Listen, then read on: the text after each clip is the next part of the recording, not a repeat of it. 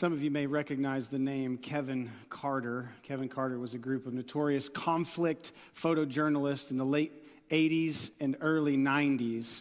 Um, they were they would go and they'd take take these just kind of crazy pictures. You'd see like the inside of some of the most corrupt things that you've ever seen, and they um, they had a, a, really big part in kind of blowing up and uh, blowing open all the stories on the um, you know police brutality and racism and all this in South Africa.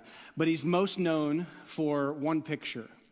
He's most known for this one picture that he took in 1993 um, while covering the war and famine in Sudan. You've probably seen the picture. It's a picture of a young child hunched over. You can see the bones protruding through, you know, out from their skin, um, head on the, on the ground, um, starving. It has all of the standard traits of what we've seen on the infomercials the um, young child with the uh, bloated, you know, bloated stomach and all. And if that, that picture in and of itself wasn't enough to, to bring you to tears, uh, just a few yards behind this young child was a vulture. And the, the, the picture got the title, The Girl and the Vulture. Come to find out later, it was actually a young boy. And the story surrounding the story was that uh, this young boy was, was crawling to a humanitarian station, to an aid station that was over a half a mile away when Kevin had taken this picture. Another story that came out was that, um, that Kevin had actually waited um, over 20 minutes to snap that picture because he thought that the vulture might spread its wings and it would make for a better shot. So he waited. As you can imagine, the world was in shock when they saw the picture. March uh, 1993, it was sold to the New York Times and went syndicated worldwide. Uh, maybe you thought the same thing when you saw it that most people did. Um, what happened to the child? And they were using this picture on, on humanitarian aid posters and in infomercials and everything that they could do because it was such a, a, a, picture that could raise money and they could you know, get aid and, and help with the cause. A lot of these questions ended up back at Kevin and they asked him, Well, what did you do?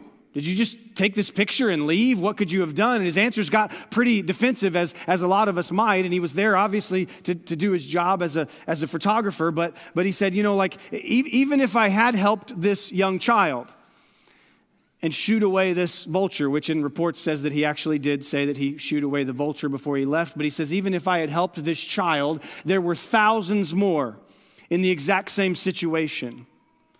And doing this for this one child really wouldn't have made any of a difference. And so he packed up his bags after he took the shot. He got on a plane and he went off to South Sudan for another location.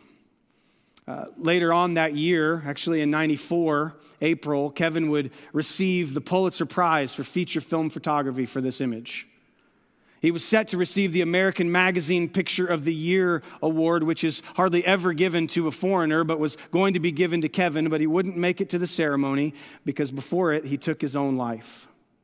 His father told the press, and I quote, that his, my son always carried around the horror of the work that he did, and in the end, it was just too much overwhelmed by what psychologists call the bystander effect, where we would rather take a picture or um, you know, take a video or do something you know, that, that keeps us at arm's distance. He was grief stricken and scared. Kevin even told his fellow photographer when he came back from that trip before they got on the plane, he's like, You're not going to believe what I just saw. I can't believe the pictures that I just captured. And so he took that feeling he took that, that awestruckness, the, all, of the, all of the feelings that he, was, that he was feeling, and he buried it. Uh, this morning, I want to talk about compassion. What, what do we do with compassion? What do we do when we hurt so much for something that seems so big? What do we do with our, our tendency to be bystanders and not participators? What do we, where do we take this pain? How do we, how do we change the world when it feels like all we're doing is, is shooing a vulture away to the next starving child? How do we love a world that seems so dark and divided? The answer, I think, is one word, and it's compassion. But I also think we have compassion defined weirdly in our, in our culture. We have, we've taken compassion and we've turned it into a, a feeling that we kind of feel in our gut. So this morning I want to talk about compassion and, and, and I want to go straight to the Bible. In the Bible, there are multiple words used for compassion. All over. There's all different kinds of why, they would use that word for love, compassion, mercy. But there's one in particular that stands out. And we see this word about 25 times in the New Testament. And it's actually uh, one of the more fun words in the New Testament to say. I'm going to bring it up here on the screen. This is the word splanchnon. Everybody say it with me. One, two, three, splanchnon. All right? You're like halfway to being a Greek scholar. Pat yourself on the back. Splanchnon. You know, you know Greek. Splanchnon is this word that we see for compassion over and over again. Like I said, 25 times in the New Testament. And there's a couple interesting things about this word, splanchnon. Uh, the first is the literal translation of the word. The literal translation of splanchnon, which is used for everything from heart to tenderheartedness to compassion to mercy to pity, the literal translation of the word from the Greek is bowels. Cute, right? the bowels. We're just coming off of, you know, Valentine's week. How many of you gentlemen poured your bowels? I don't want to, I don't know that's a story. poured your heart out. And this is because the ancient Greeks believed that, that all of your deepest emotions, all of the, the, the depths of the emotion that we can feel as humans would not come from your heart. It wouldn't come from, you know, like if you're feeling something in your heart, you need to go see a doctor, right? Like it wasn't from the heart, it wasn't a lump in the throat, it wasn't butterflies in the chest. It came from your bowels. It came from deep inside of you. And so this is what the ancient Greeks believed, which is why this literal word would mean the vital organs. You feel it in the pit of your stomach. Some of you medical minded people might recognize terms like splanchnic nerve or splanchnic circulation, the nerves and the blood flow surrounding the abdomen and the vital organs actually the Hebrew equivalent of this word. So we see that same word, meaning with the same type of meaning in the Old Testament, would actually mean the vital organs that they would remove from the sacrifice and set off to the side for just a, a lovely dinner later. That they would take everything else and sacrifice that. And these vital organs, the splanchnon, would be set aside because they were vital and they were special this splanchnon, meaning bowels or inner parts. Remember that is interesting about the word splanchnon. Another thing that's interesting about the word, maybe most interesting for our message this morning, is that in all other Greek literature, not just Bible literature, but all other known Greek literature, which is a lot, this word is a noun. Splanchnon. It described the feeling or the idea or what someone felt um, in their bowels. It was a noun. But when we see this word in the Gospels describing how Jesus felt towards people and towards crowds, only here in Greek literature is it changed to a verb. Jesus not only had compassion, but he showed compassion in his actions. And actually, the word changes a little bit from splanchnon to splanchnizomai. That doesn't really matter because that doesn't make sense to us, but it's a different word when you see it used of Jesus, splanchnizomai. And we've been talking about this idea of one at a time living based on the book by Kyle Idleman, um, but also looking at just the approach that Jesus took to people. And when it comes to compassion, I don't think it's an accident or a textual variant or some, you know, grammatical error that Jesus is the only one who turns this noun into a verb because when we live for Jesus and when we strive to engage one person at a time with the love of Christ, you have to move compassion from the pit of your stomach to the palms of your hands. It has to move. It has to move you. It doesn't just stay swallowed in your stomach. Every time we see Jesus eh, have this compassion, it's followed by action. Mark chapter 6, we see that Jesus has compassion on the crowds. And just a few short voice verses later, he's feeding 5,000 plus of them. There's action. It doesn't just stay in the pit of his stomach, it comes out in action. Matthew chapter 20, he has compassion on the two, uh, the two blind men who come to him and ask for healing. Not only does he heal them, but he reaches out and touches them. There's a physical uh, situation here. There's something that he is actually moved to touch them and to go towards them. Matthew chapter 9, he has compassion on the crowd once again and he turns directly to his disciples and he commands them to pray to the Lord of the harvest because these are like sheep without a shepherd. Pray to the Lord of the harvest. And so he has compassion on the crowd. It leads him directly to prayer. The founder of Iris Global and missionary Heidi Baker would say it this way of Jesus' compassion Jesus would go anywhere and talk to anyone Uh, and whenever he went, he would stop for the one, the forgotten one, the one who was rejected, outcast, sick, even stone dead. In the kingdom of God's love, there is no sinner that cannot come home. Jesus didn't just have compassion, he showed compassion. And we're going to look this morning in Mark chapter 1. So if you brought your Bibles this morning, we'll also have the scripture on the screen here. But Mark chapter 1, where Jesus heals a man with leprosy. It's seemingly just a few verses, it's a small little story, but I think in this story we can see some of the principles of true compassion. What does it look like when we move compassion from the pit of our stomach to the palms of our hands? I think Jesus shows us in this healing. So turn in your Bibles to Mark chapter 1, but I'll give you the first principle of true compassion is this. True compassion is loving people who are unlike you. True compassion is loving people who are unlike you. Look at verse 39. He, Jesus, went into all of Galilee, preaching in their synagogues and driving out demons. Then a man with leprosy came to him, on his knees begged him, If you are willing, you can make me clean. So Jesus has been going from town to town. It's one of the more um, packed chapters of the scriptures where we see Jesus at work. I mean, if you if you read Mark chapter one, you're just like, what happened to the angels and the birth narratives and all that sort of stuff? What happened to you know Mary and Joseph and all that kind of slow roll into the life of Jesus? It is like you know we hear John the Baptist, Jesus comes, and then it's ministry. Okay. Mark is pretty brief with all of his descriptions. He just gets to the point. And Jesus has this, this 72 hours or so of just ministry, ministry, casting out demons and going. And it's been, it's been doing all of, all of this, driving out demons in the synagogues and the cities. He's getting really, really popular before we even finish the first chapter of Mark.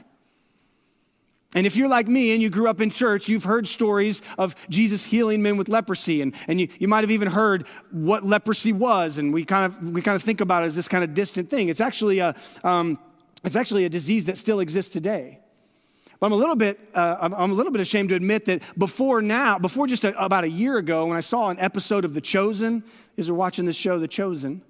Um, eh, before I saw that, there's, there's one episode last year that I saw where a leper approaches Jesus and the disciples, and the reaction is, is so is so like defensive.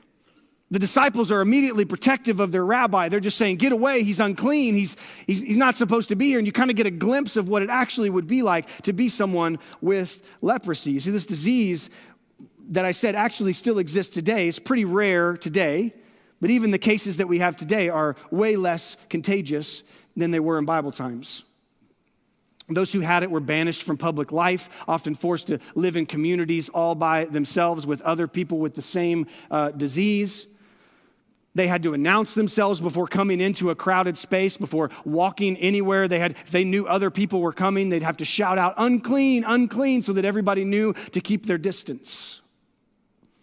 And it was even said, I, I, found one commentator said it was even said that the, um, the clay walls of the houses that they had in those times, like if someone with leprosy were to lean up against one of those walls with, with bare skin, that, that the leprosy could actually stay in the clay walls and someone could come along later and lean up or be in, in the vicinity of it and could actually contract leprosy that way highly contagious disease, something you had to be, you know, quarantined or set aside. Now I was thinking if there was only some sort of equivalent in the modern day that we had to stay away, that we had to, you know, like that it, was like, okay, did anybody else wash your groceries in 2020? Are we just that, are we just crazy? Okay, um, uh, I remember that 2020, early 2020. My wife was working at the hospital. She's working these long 12 hour shifts. And she would come home and we were like really really trying to protect our family. And so as she would come in to the garage door we would make her shout unclean! Unclean! Like i'm just i'm just kidding. We didn't let her in the house at all. Um, here's something that i actually found fascinating though.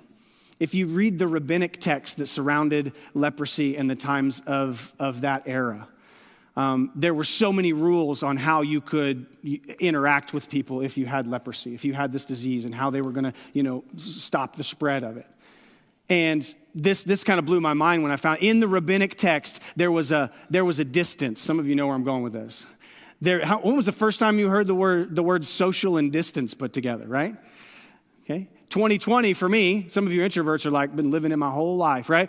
Like, it's my favorite two words smashed together. But, but this actually goes all the way back to the first century and before where they had rules and laws of how far someone with leprosy had to stay away from crowds and people. They had to announce themselves as unclean, but they also had to stay four cubits away, which is 18 inches, which is, you guys are really good at math, six feet. six feet of distance. Some things never change. So here we have this man he does not follow the rules. He does not follow the rabbinic text. He runs up to Jesus. He slides down on his knees and he begs Jesus, I know that you can. If you're willing, heal me. Notice the faith of this man. He's willing to be, I don't know, maybe beaten by disciples, maybe, maybe, you know, shunned away, even ostracized even more, willing to be punished. But he has this faith and he knows Jesus is not a doctor. There is no cure for leprosy, but he knows something about this Jesus. He's heard something about this Jesus that he believes that he can be healed. And Jesus had every right as a Jewish man to dismiss him, to run from him, to call the officials, to send him back to his quarantine. He had every right to do that. But just like he ruined his reputation with, with everybody else that he hung out with, say he hangs out with tax collectors and sinners, and now he's unclean because he's touched lepers. He ran that risk. Jesus showed compassion by loving those who were unlike him. This requires, of course, getting into the spaces with people who are unlike you.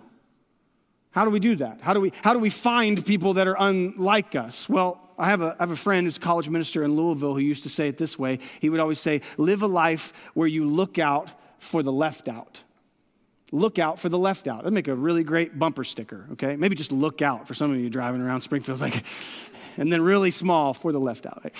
Look out for the left out. There's, there, there's something about seeing somebody who is distant, seeing someone who is overlooked. I used to tell my, uh, my middle school youth group, that's right, I was a middle school minister at one point in my life. Pray for Garrett. Pray for Garrett. I, I lasted two years. Um, but but I used to tell our middle schoolers because they would all come in on Wednesday nights to our uh, to our you know Bible study and worship, and they'd all rush to the front of the stage, and we'd have really you know we'd have the loud worship, and I would get up and I would speak, and it was like it was it was such a moment. Sometimes it was so much fun, and all the kids were so into it. It felt like you know one of those like Thursday night at, at uh, church camp or something. But one perspective that I got to have of that was when I stood on stage, I got to see the crowd in front of the stage, but I also got to see the back wall kind of of peppered with those who didn't feel like they were a part of the crowd. Or their parents had just brought them and dropped them off.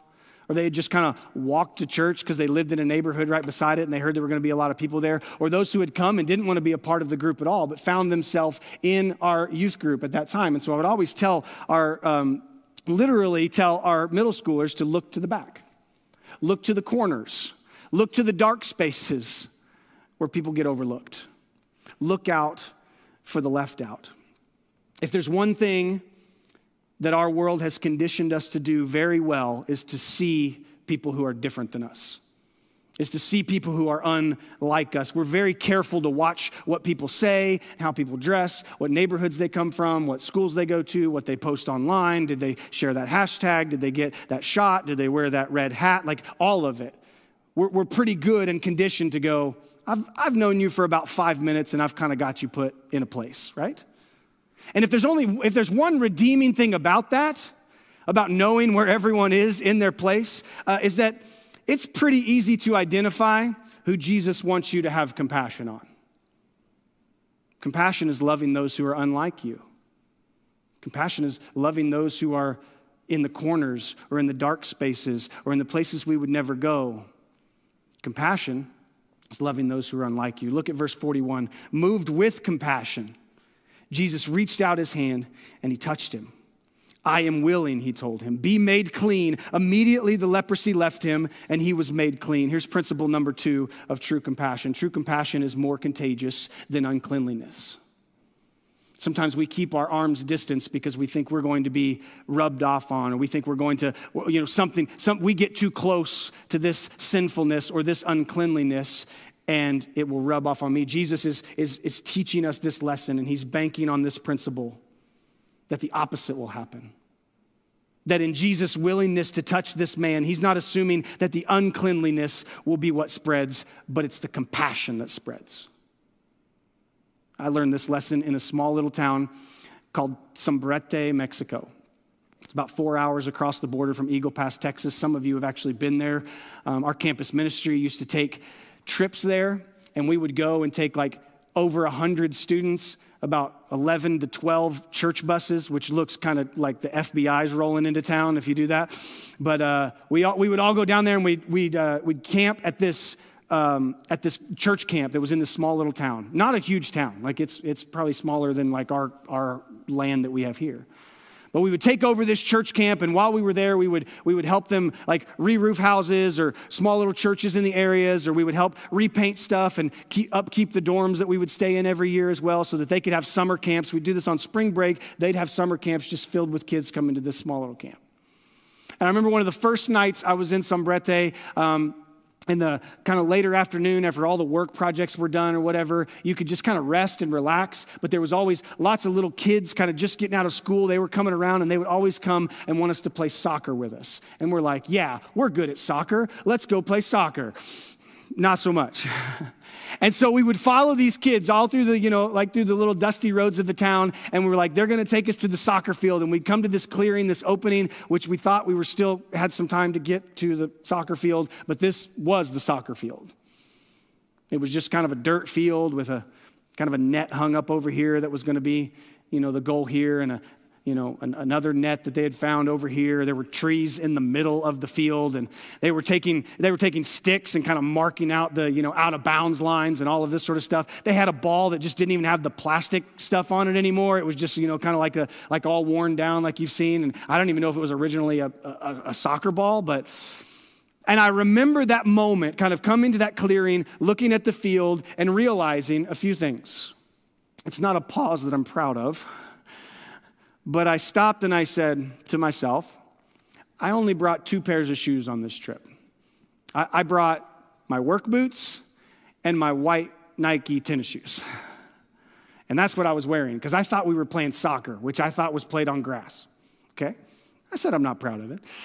And then I started to realize that all of my kind of athletic clothes, the stuff that I had put on, you know, was, was nicer. And I started to look at these kids and I started to see them and how dirty they were and how you know like i was like man I'm, starting to think about you know like lice and i'm starting to think about how filthy i'm going to be by the end of this week. I'm starting to think like we don't really have hot showers back at the at the dorms. They're kind of cold so maybe i want to like take it a little bit easy that sort of stuff. And so so but the holy spirit in that moment convicts me and says you didn't come here to keep your clothes clean. You know at that time in my life i had a couple nieces and a nephew. And one of my favorite things in the world was to play tag and give them piggyback rides and chase them around and wrestle on the ground with them and all that sort of stuff. And that never, ever bothered me because I knew where they had been and where they were going back to and all of that. And this moment for me was, a, was kind of a make or break moment in compassion. And so what I learned was that my, my first feeling was not compassion. I, but I, I, I, knew soon that I wasn't there to clean these kids up. I wasn't there to keep my stuff clean. I wasn't there to make their field nicer or to judge them for what they had. I was there, like Jesus reaches out to this man who had probably not been touched in years. I was there to give hugs and piggybacks and piggyback rides and chase and play tag and I was there to ruin every shirt and pair of shorts that I had. I was there to just completely destroy those white tennis shoes because compassion is more contagious than uncleanliness. I wish I could have. I wish I would have brought the picture because I have a picture of a young little boy, um, and it, look, it looks like I'm torturing him a little bit. But I think he just scored so many goals on us that I just grabbed him by his feet and held him upside down like this. And uh, it's just kind of the perfect picture of that moment of just like, okay, this is the only way I can stop you from scoring. Um, but it's also me going like, this is crazy, but this is compassion. Jesus could have healed this man from six feet away. He could have been like, whoa, whoa, whoa wait, wait. Remember the rules? He could have like, you know, you're healed. But notice that he touches him. He reaches and physically touches him. If you read throughout the Gospels, when you see Jesus physically touches somebody, it's not in there as an accident, it's not in there as just like a side note or something. When Jesus touches someone, something miraculous is happening, and Jesus is showing a compassion beyond the pit of his stomach. It could have been for the disciples to just see that everything is okay. we're going to be all right. The people watching to sh- truly show God's power over disease and that Jesus possessed that power.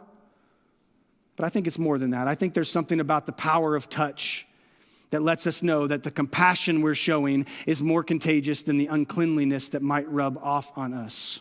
In the late 70s, they had these studies in Cambodia. Um, in Cambodia in the 1970s, the infant mortality rate for, um, for NICU babies was 70%. 70% of babies born before their term date or born, um, born underweight and had to spend some time in the NICU, 70% of them did not live to see the outside of the hospital. They were short on incubators. They didn't have very many, maybe a couple. They also didn't have the staff or the infrastructure to support it. So they started doing these studies on skin to skin contact with a mother and a baby. Some of you know about this. They called it kangaroo care, where the, where the mother would have constant skin to skin contact with their baby. And over the course of implementing this, over the course of just a couple years, they found the infant mortality rate went from 70% to 30% because of this one change the power of human touch, the warmth of another body, the warmth of a hand on your shoulder the power of touch. In the 2008 and 2009 NBA season, researchers did um, a, a, study and they tracked every single NBA team, all 30 NBA teams. They took one game in the first two months of the season and they tracked every bit of physical touch between teammates, all of it. Imagine being on that research team, right? Every high five, every fist bump, every chest bump, every, every, every good game, you know, all of that was tracked, okay? They found that the teams with the most physical interaction during the game, from the opening whistle to the, to the, to the last horn, that, that, they had the most physical interaction during the game with all of these different ways they showed affection to one another. The teams had more, um, they, they were finding more open shots. They had more chemistry with their teammates, and some of that's not really quantifiable. You're like, well, okay, well, how did they figure that out? They were also the top teams in the league in scoring, assists, and also record. And as you can guess, the research also showed that the worst teams in the league had the least amount of touch represented on the court and in the huddle. There's something about the power of touch. We're still figuring all of this out. We're still trying to understand, but Jesus is showing us clearly. If you want to show someone you have compassion for them, don't keep them at arm's length. It gains trust. It gains, uh, it makes things personal. It tells a person that, that you have true compassion and you're not willing to let reputation or smell or dirt or any of that unperceived or that perceived uncleanliness get in the way. Compassion is more contagious than uncleanliness, which I think leads directly to the third principle of true compassion. True compassion is about connection. It's about connection. Look at what it says in verse 43. Then he suddenly, then he sternly warned him. So Jesus says to him, he sent him away at once, telling him, See that you say nothing to anyone, but go and show yourself to the priest. Offer what Moses commanded for you, uh, for your cleansing, as a testimony to them. Make sure every, everybody else knows that you were cleansed. Like, keep it quiet, but get to the priest. And I want the priest to see that you've actually been healed of this. Show him the scars. Show them, tell them your story. Go do the sacrifice, do the right ritual way so that you'll be invited back in to the community. Jesus Jesus doesn't just look out for the left out. He doesn't just heal the man. He doesn't just in, he doesn't just say, "Now go, tell your story." And he doesn't even look at him and say, Now come follow me. You're in my group now. No, he sends him back to, to integrate him back into the community that he has been separated from for who knows how long. Notice Jesus tells him to go to the priest. There was a sacrifice that he was to give. But just like any of us would have done, he starts telling people. You know, he goes off and he starts telling people, but, but Jesus is, is, is, this one at a time at a one at a time approach of Jesus. This is, this is what it does. It invites us back into community. It invites those who are in the corners and in the dark and in the left, those are the, who are left out. It invites them back into a community or to a community for the first time. I'm not just going to fill up your gas tank and hope that I never see you again. I'm going to put my arm around you. I'm going to ask you if I can pray for you. I'm going to um, I'm going to ask, is there any needs that you have right now? See, one of the things that I think we like to do is we like to show compassion. It comes from the pit of our stomach and it comes to the palms of our hands. We'll fill up a gas tank or we'll buy someone a meal or we'll pay for their night in the hotel or what, whatever it is they need. And then we'll drop them a card and say, hey, why don't you join me at my church on Sunday morning? Have you met my pastor? Like, that's, that's kind of the end of our, of our compassion. Why don't you come here? And what I've realized is a lot of times when I meet people, like a lot of times as college students, when I'll meet a college student, an international student, and I ask them, hey, do you have a church home? You want to come to church? It's like, well, I don't have a car. I don't, I, I can't, I can't drive. You meet somebody who counts on the bus system here in Springfield to get them. Do you know where a bus would drop them off closest to this church? It's come and go. And so when our compassion comes out to the palms of our hands and we're like, my, my only go to is just, I'm going to invite him to church. That can fall so short of what Jesus is really calling us to do. Jesus doesn't just say, now go to the priest and you'll, you'll, everything will be okay. He says, go to the priest, do the appropriate things. He is giving him the tools, he's giving him the steps to get back into community. This one at a time approach does just that. I'm, I'm going to pray. I'm going to understand that true compassion doesn't end with a handout, but it ends with a handshake. Welcome to the family. Welcome to the club. Come inside. You know, we have small groups, life groups, micro groups. We've got a lot of groups around here that aren't just this group on Sunday morning. And somebody like, well, that, we don't have any of those close to my house, or we don't have one of those, you know, at, at my office. With lunchtime Bible studies, morning devotions with coworkers. Maybe God is telling you to show compassion and invite someone into a community and share the love of Jesus with them by just inviting them to something small, inviting them over for dinner, not keeping them at arm's length. As Rosaria Butterfield would say it in the title of her book, the gospel comes with a house key or a garage code, since we're it's 2020, right? Some of you are like, well, I don't even have a house key. And the gospel invites in invites people in. There's one more verse in this passage that I think gives us the fourth and final principle when it comes to when it comes to compassion.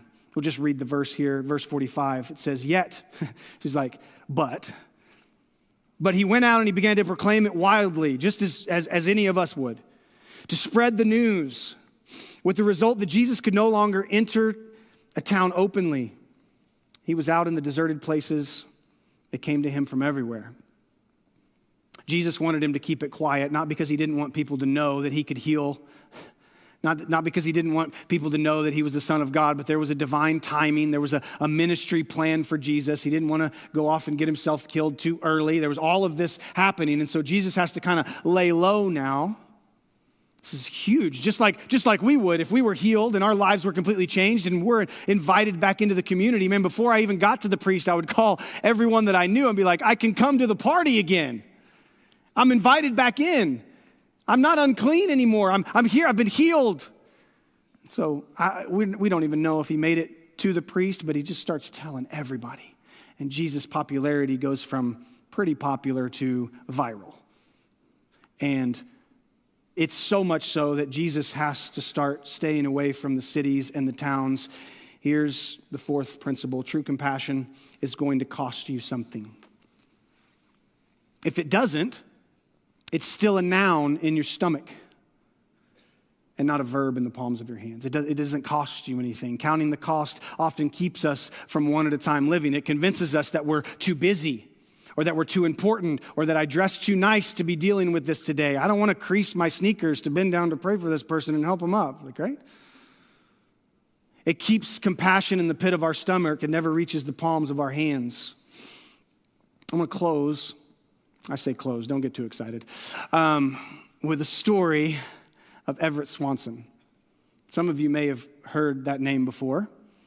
I think it kind of bookends the, the story I told in the beginning of the sermon in this story. Everett Swanson was a missionary and preacher in the early 50s at the height of the Korean War. He jumps on a plane in Chicago and flies to Korea to preach to the American troops who are fighting in the war. When he arrives, it's the dead of winter, but he's from Chicago, so he, he's ready for it. So he's got his big parka, his big coat, and the fur, and all of this and he's kind of wandering the streets for a day or so. And then when he gets to the place where he's supposed to stay while he's there for the duration, he gets in the house. It's warmer, so he pulls off his big parka, his big coat, and he lays it there on the floor. And no sooner as it hits the ground of the place he was staying, there's a small little child grabs his coat and bolts out the door into the cold. Now, Everett is a preacher, so he knows Jesus' commands, right? When Jesus said, somebody comes and knocks on your door and says, you know, I want your shirt, don't just give him your shirt, but give him your coat as well. And so he's thinking this, but he's also from Chicago, so he's like, ain't no way this is happening. So he takes off after this young man. And he's running through the streets of this Korean town. Now, I've got a three year old at home. And if you've ever chased a three year old thinking, I've got twice as long legs as this child, I will catch her in no time, you know that that is just a false narrative, right? There's no way. And let me give you a hint for new parents, when they're naked, they're faster. I don't know if that doesn't. That doesn't matter here, but it matters to somebody. You're gonna, you're gonna be like, he told me, he told me, all right? They're slippery and they're fast. So this little kid is running through the streets, fully clothed, from what I know. Um, he's dodging in and out of people underneath legs and in alleys, and obviously he knows the streets better than Everett does. And Everett is just, you know, he finds him, then he loses him, he finds him, then he loses him. And then he finally gets to a point where he's, he's stretching out his legs really, really big, and he's so close. He can reach out and almost grab this kid. And right before he does, the kid ducks down a really, really quick alley and vanishes. As Everett turns the corner, this kid is nowhere to be found, but he sees his coat. His coat is laying there on the ground, kind of in a heap of nothing. He was like, Well, I guess this was effective. And he, he bends over to pick up his coat, and underneath his coat is a small little baby. This wasn't a magic trick, by the way.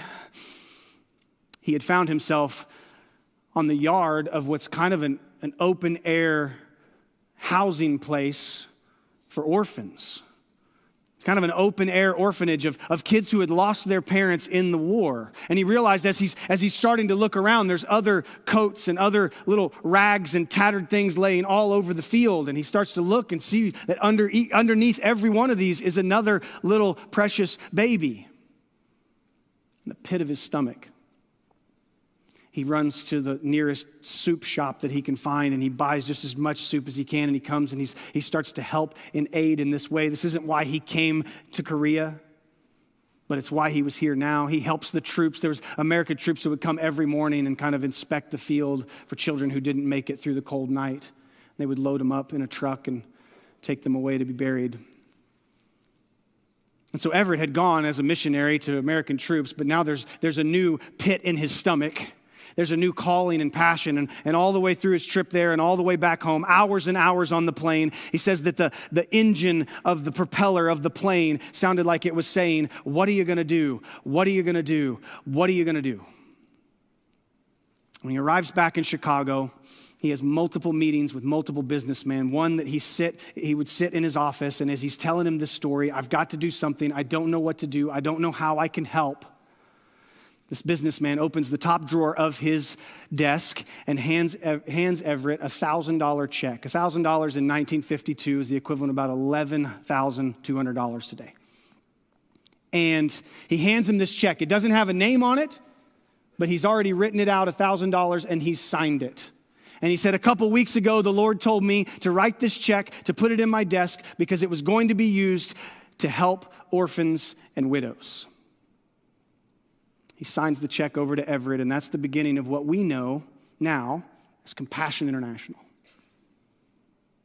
An organization that has provided food and aid to over 2 million children worldwide. Many of you likely have a little cardboard cutout picture of a compassion child at some point on your fridge.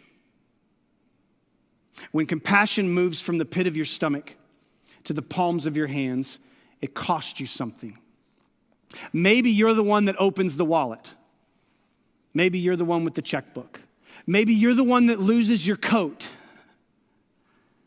Or maybe you're the one that misses the perfect opportunity, the perfect picture, the, the, the chance to, to make money, the chance to make the big sale, the chance to not miss your next flight or Maybe it cost you more. I remember visiting two doctors who lived in downtown Memphis, Tennessee. This was uh, West Memphis. Uh, West Memphis, Tennessee is, is a pretty rough place. If you get really, really close to the, to the river, they've kind of remodeled all of the houses there. And then there's like the children's hospital area. It's all really, really nice. But just a little bit farther east of there, you get into some, some pretty rough places. And we sat in the home of these two doctors who could have lived anywhere in the surrounding areas. They could have moved out to the expensive houses in the suburbs. They could have lived even, you know, closer to the river where these really think, but they, they chose to love this community by living in this community. And they lived in a house in a neighborhood called Orange Mound. And, and we, we listened to their stories and we started to listen to all the stuff that had been stolen from their house. We started to look and go like, what on earth? They had laptops stolen. They had, you know, their, their couches were just an absolute mess. They had clothes disappear, couches covered in stains, and cars broken into, and all of this. They're telling this story. They're not saying these things in like, man, I wish we didn't live here. We'd have more laptops. Or you know, they were like, well, we went down to the store the next day and bought another laptop. It's kind of the cost of living among people who don't know Jesus. And we sat there in their living room seeing that they understood that compassion comes at a cost. Compassion will make you late for lunches, it will make you miss tea times, it may make you have a tea time, and you don't even like golf. True compassion will make you rearrange your budget, open room in your home. Your couch might get dirty, your sneakers might get creased. The willingness to kneel down to help someone, to touch someone who you would normally not touch. Your personal space might get invaded, but when compassion leaves your stomach and comes to your hands, it's a call and it costs. You know, when Jesus asked Peter if he loved him, you remember remember Peter denies Jesus three times before the crucifixion, and Jesus comes back to him after he's resurrected and he restores Peter by asking him these three questions. For the three times that Peter denied him, he asked him, Peter, do you love me? And each time when Peter says, Yes, you know I love you, Jesus gives him the same response Feed my sheep, tend to my lambs. I think we tend to think that Peter was going to be able to feed sheep without smelling like sheep without, without understanding that there was a cost. Without understanding, as Bonhoeffer would say, that the call to Christ is a call to come and die to yourself.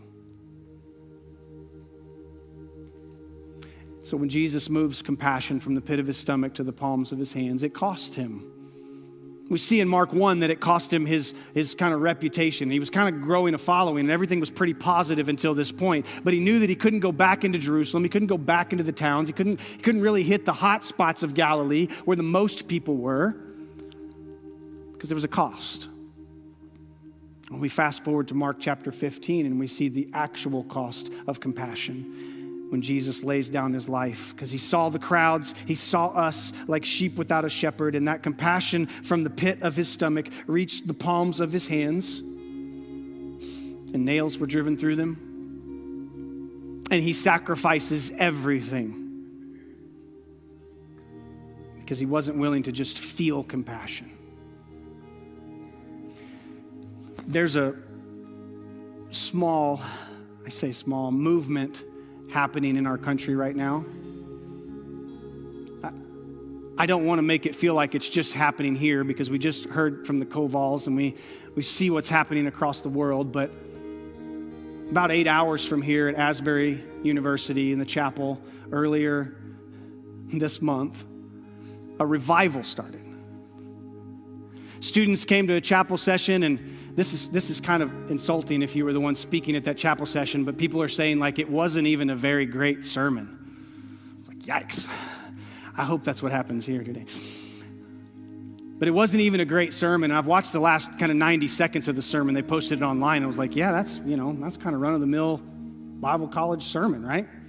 Okay, Got to make it to class. But what happened after that sermon is that students kind of started to scatter, and about 10 or 15 of them kind of stayed around, and they started having this little small group session right there. The music kept playing. And they didn't just want to sit there and sing, they started confessing their sins to one another.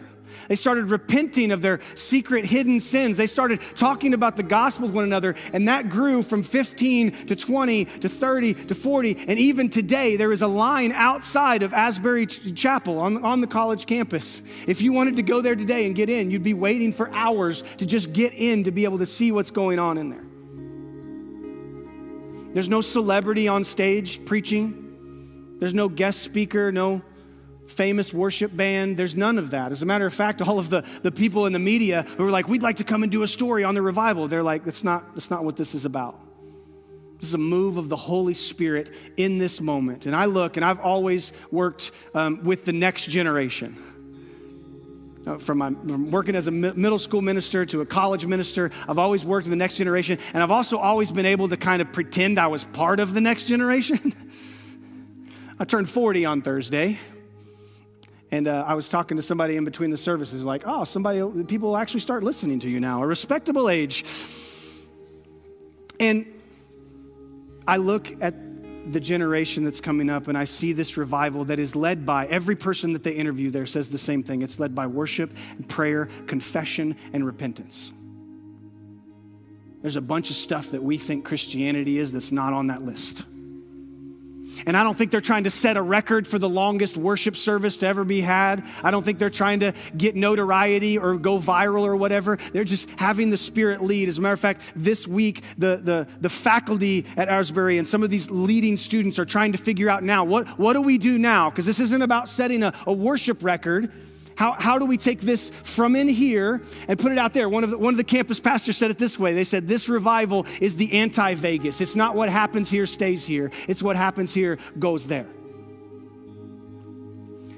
And if this doesn't move you, if your immediate if your immediate feeling is cynicism, you're like, ah, it's Gen Z, they never stick out anything.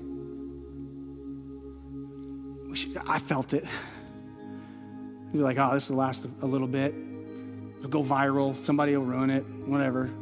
It'll be just a blip on the radar. And, and it may be. Who knows? A week and a half in, who knows? But I see a generation that is starving for hope, that is starving for truth, that is starving for the Holy Spirit to come and do something real, that is starving for that real compassion, that we wouldn't just feel it in our stomachs and take some justifying Pepto Bismol and go, somebody else will take care of it. I'll introduce them to my pastor. Some super Christian or some Billy Graham will come along and take care of all of this, but we feel it as our responsibility to move that from the pits of our stomach to the palms of our hands. Worship, prayer, confession, repentance. It's the path of Jesus. I want to pray this morning for anyone who's in this room. This has kind of been an inside baseball talk. We've been talking about how do we leave this place and show compassion to our community. I want to talk to anybody in this room this morning that doesn't know that compassion of Jesus. And maybe you think Christianity is one thing and you hear what Jesus did and it feels like another thing. I just pray that you would lean into the Spirit this morning, that you would feel that true compassion that Jesus was not willing to just stay up in heaven and dictate everything that happened down here, but he came as a man. He lived our lives. He was tempted in every way that we were tempted. And he wants your heart. If that's you this morning, I'd love to talk with you. As we're worshiping and singing, they're going to open these doors off to the right. I'd love to talk with you about what it means to take steps towards Jesus, and maybe that step leads you directly into this baptistry. I pray this morning that the Spirit overflow in this place. Overflow so much that we feel like it can't stay in the stomach, it can't stay in this building, it can't stay in these walls. But 50 years from now, we would be talking about that movement of God where we refuse to just go to lunch after church, which showed true compassion to our city and to those who are left out. Let's pray. Heavenly Father, this morning, I want to pray for the one. I want to pray for the one that you left heaven for, God, the one sheep who has gone astray, the one sheep who doesn't feel like they belong, the one sheep who doesn't feel like there's any coming back from what they've done. God, I pray that you would reveal brokenness and sin, but also know, have us know that your compassion that your kindness leads us to repentance and leads us to walk in a newness of life. God, help us to feel that. Help us to live in that. Help this pit of our stomach that longs for a generation to know Jesus to come to the palms of, of our hands, to serve and to love and to be. To be the hands and feet of Jesus today. We love you. It's in Christ's name we pray.